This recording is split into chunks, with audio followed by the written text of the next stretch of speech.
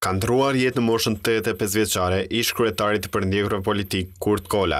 Lajmin e ka bërë me dije i biri i tij Bilal Kola përmes një postimi në rrjetet sociale.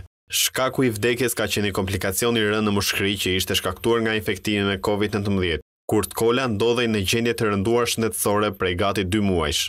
Kurt Kola dhe familja e tij ka një histori të gjatë internimesh dhe burgosjesh gjatë kohës së komunizmit që fillojnë që prej vitit një mijë e nëntëqind e dyzet e pesë kur arrestohen dhe internohen nga sigurimi për shkak se i ati Bilal Kurti ishte përfaqësues i lartë i partisë Lëvizja e Legalitetit dhe kishte strehuar e bashkëpunuar me misionarët ushtarakë britanikë. I lindur në fshatin Macukull të Burrelit, Kurt Kola, kur ishte vetëm tetë vjeç, u mor nga shkolla nga dy partizanë dhe u internua bashkë me familjen fillimisht në Peshkopi dhe më pas në Berat ku u strehua në kazernat e djegura prej luftës deri në prill të vitit një mijë e nëntëqind e dyzet e nëntë dhe më pas u dërgua në fabrikën e tullave në Tiranë. Po atë vit, Kurt Kolën e dërguan në kampin e Tepelenës deri në vitin një mijë e nëntëqind e pesëdhjetë e katër.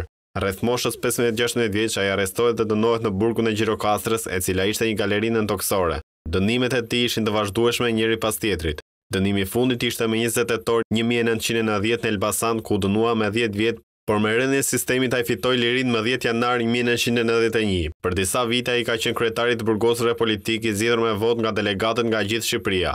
Ai është dënuar sërish me katër muaj burg sepse drejtoi grevën e urisë për ish të përndjekurit politikë. Kurt Kola ka shkruar gjithashtu edhe dy libra, Ëndrra burgu dhe Në Shqipërinë burg në të cilat flet për kalvarin e tij nëpër burgje.